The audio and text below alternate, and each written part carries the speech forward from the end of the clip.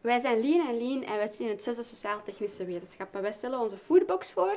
Uh, normaal zou dat uh, klaargemaakte gerechten zijn, maar door corona gaat dit niet. Dus daarom maken wij een uh, kookinstructiefilmpje.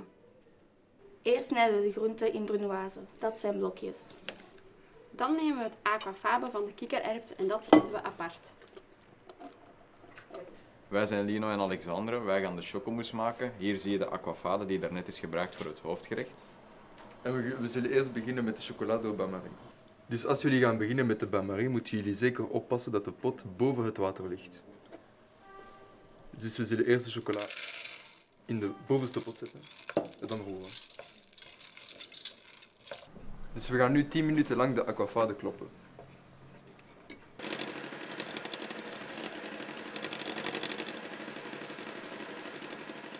Als de aquafade tot sneeuw geklopt is, gaan we beetje per beetje de suiker erbij toe aan toevoegen, zodat we later dan uh, de structuur van een meringue krijgen.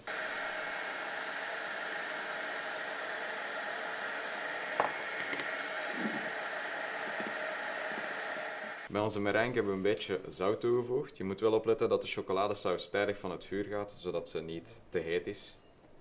En nu moeten we dus bij de chocoladesaus de meringue toedoen en een beetje spatelen.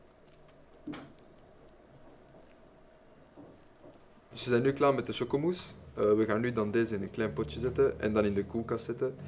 Uh, het beste is dat je deze een hele nacht in de koelkast zet, maar twee uurtjes is al voldoende.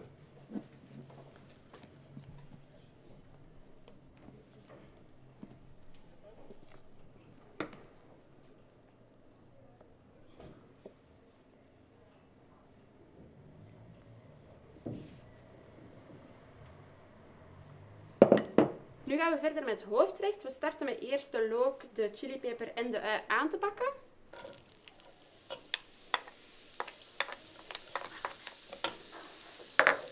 Dit bakken we even aan. Daarna doen we de kruiden, de garam masal bij.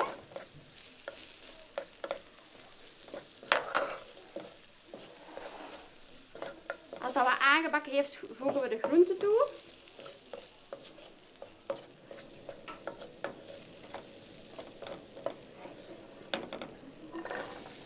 Die bakken we even aan.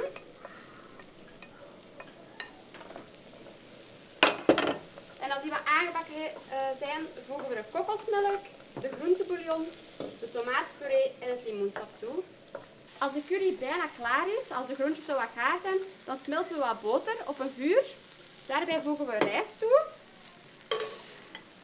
Daar roeren we onder elkaar.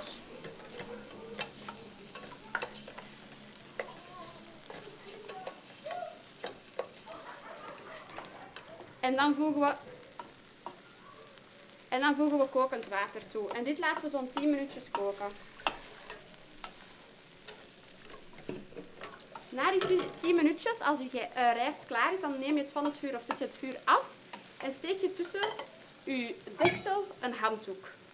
Uh, na 15 minuten zijn ongeveer de groenten gaar. Dan voeg je de cashewnoten, mango, kikkererwt en spinazie toe. En op het einde uh, kruid je met peper en zout naar eigen smaak. Veganistisch eten hoeft niet saai te zijn. Geniet ervan.